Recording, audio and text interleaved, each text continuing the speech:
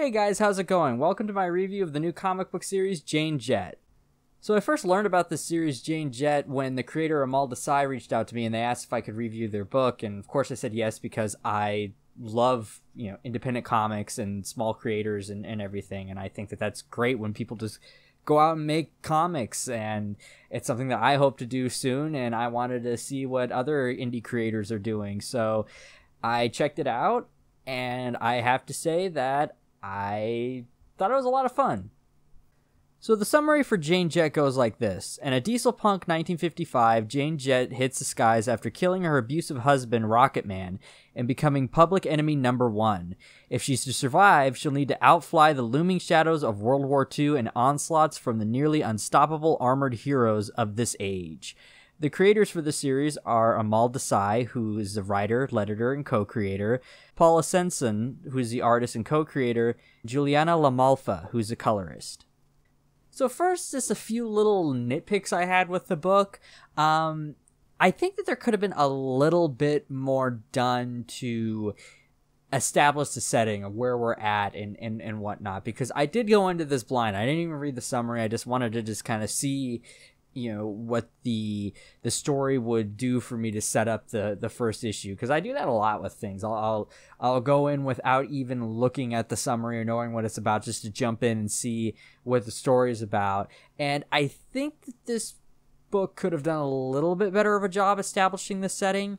I was a little bit confused of what time period it took place in, and that's because some of the vehicle designs, technology designs look way and the style too as well as like a lot of the, the the art design looks way more modern than the time period that they're going for. It doesn't even it doesn't really have like a retro futuristic look. With that said though, the only other like critique I have is really with the art. I think that the hands look a little off sometimes, but that's really the only critiques I have of this book. With that being said, I really like the setting for this book. I like that it takes these real life events and uses them as a basis for the story, such as the United States using Nazi scientists to uh, up our technology with the space race and whatnot. So a lot of that is present here, and it's a lot of fun. It really creates a really unique setting, I, I think. And I really like the character designs. Even though I said that maybe some of the designs don't necessarily match the time period, I really do like all the character designs in this. I think everybody looks really cool. I really like the heroes and the way everybody looks. It's it's got a there's a lot of really fun superhero costumes and designs in this story the banter and the dialogue is pretty good too. Um, you really get a good sense of chemistry from a lot of the characters, and you get a real sense of history with a lot of them too, because lines are drawn in this story because of the setting and everything. I'm, I do not want to give any spoilers away or, or, too much away, but you do get a, a sense of that there there's a lot of history that's being put on the line because of the situation that the characters are in. And I think that comes through with the banter and the good chemistry that I, I think was really well written with the dialogue.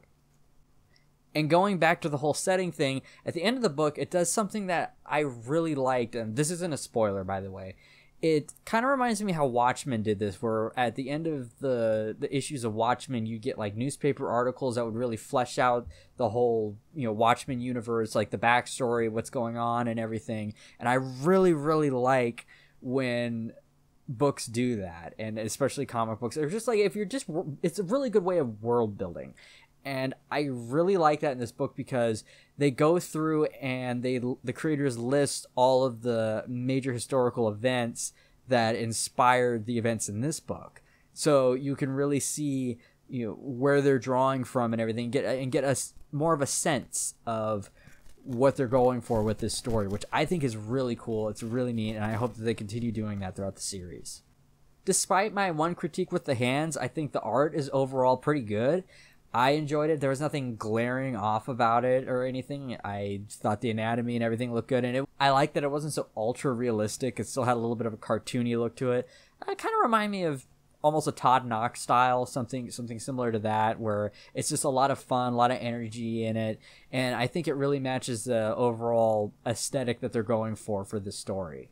So, guys, if you're looking for a independent book to read, you know, you want to take a a break from the big two or any of the other independent publishers or third party publishers, I highly recommend checking this out. I think that it really, it really set the groundwork for what I think is going to be a fun story. And I do look forward to checking out more. So it is going to be releasing today on Amazon, so you can go ahead and check that out. And I will include a link to Amal's social media and all the other creators' social media in the description below, so you can go check them out. You know, give them a follow, support their work and everything, because like it's great and stuff like this encourages people to go out and create more of their own independent work. So, as you know, that I've previously had involvement in things like Apollo City Comics and everything. So, always go out and check out their work. Um, I know my other friend Brandon Moncada is working on a series called Polter Kitten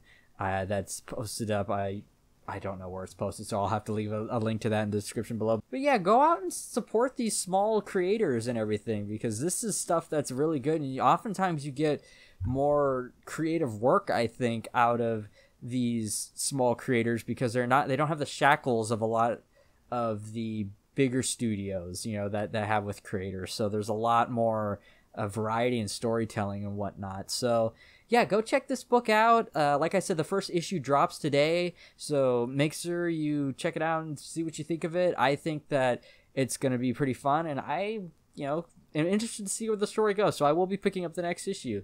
So uh, that's it for me, guys. I just want to say thank you to Amal for reaching out to me. I'm really glad that I had the chance to do this, and I will be working on some more videos coming up soon. Uh, probably do some more figure reviews coming up next. I'm gonna do a, a video where I just kind of catch up on all of my my comics and everything that I've read uh, lately. I I have uh, I read the Deaths of Stock, Doctor Strange run, uh, some of the Scott Snyder Justice League run, and a couple others that I would really like to just you know to give you guys my quick thoughts on that. So maybe we'll just do a comic catch up day because I really need to catch up on my backlog because I'm I think I'm over a year behind at this point from my backlog of comics. So yeah, we'll we'll see how that goes. Um, so anyway, guys, like I said, that that's it for me. As always, if you like what you see, go ahead and hit subscribe. You can follow me on social media. The links are down in the description below, and I will see you next time. Take care.